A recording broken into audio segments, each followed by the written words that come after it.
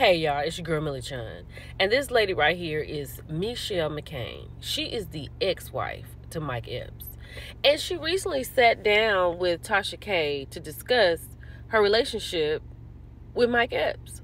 In this particular part that I heard, she said she found out that he had filed for divorce online, like on social media. Like he didn't, there was no constable, there was no serving she got on social media and she heard that she was getting a divorce.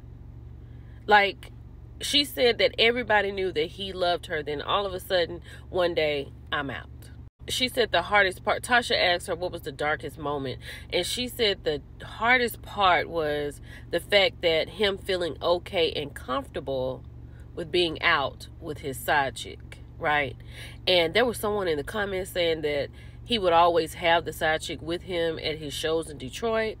And I think she was like an assistant or something, but she was always around him. And Mechelle was wondering why was this lady always around my husband? And she was like, it's the disrespect. You know, I'm the mother of your children. And like I said earlier today, like I said earlier, this is somebody who's trying to get into heaven, right? And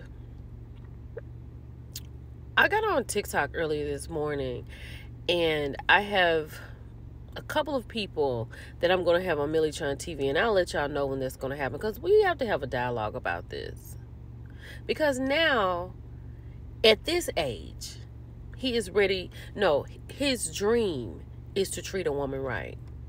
You dream about your dream job. You dream about having a home. You dream about success in your life. You don't dream about treating someone appropriately.